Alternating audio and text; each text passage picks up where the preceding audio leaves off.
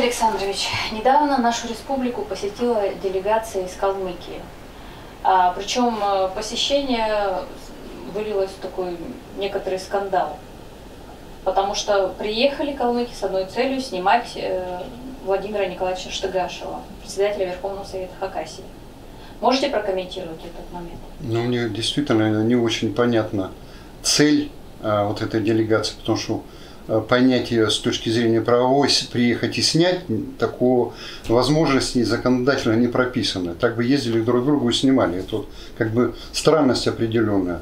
А второе, ну не все, наверное, знают, а, делегация действительно не смогла участвовать в процедуре заседания Верховного Совета, поскольку вопроса, с которым они приехали, в повестке не было.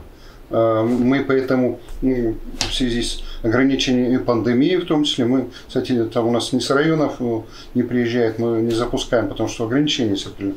Поэтому они в зале не были. Но с одним из э, членов делегации, лично я и еще небольшая группа а, депутатов Верховного встречались перед сессией. Мы подробно беседовали, выясняли, Выяснить, как, что ему да, что нужно. Да вот мы бы хотели, нас кто-то там пригласил, кто вас пригласил. Ну, даже фамилию не стали называть, да ради бога.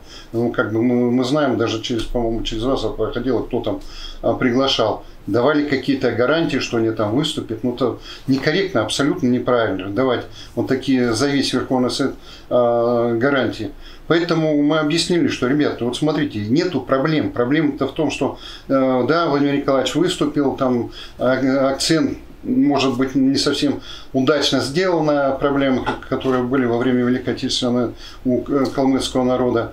Э, эта тема вот так была обозначена, и он дважды, сразу практически дважды извинился, а уточнил свои акценты.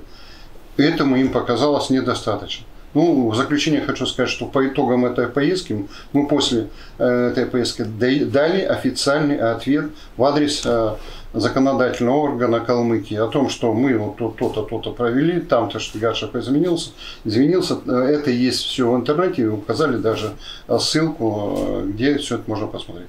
Очевидно, они таким способом хотели э, заполучить политические очки у себя. Абсолютно верно. Я об этом сейчас не сказал, но я это вижу, я сразу об этом говорил. Да, предстоят выборы. Выборы также государственные, но ну, претендентов много, может быть, из числа тех, кто приехал. Сейчас будут это вот показывать. Что мы пытались? Да, да, да. Мы вот такие герои, мы решили. Но у них не все получилось. Команда канала ЗАН Онлайн благодарит за финансовую и моральную поддержку всех неравнодушных земляков. Большое спасибо. Благодаря вам мы можем и дальше оставаться независимыми ни от каких политических сил. Реквизиты оказания помощи вы сможете найти в описании под видео. С уважением, Максим Цыденов.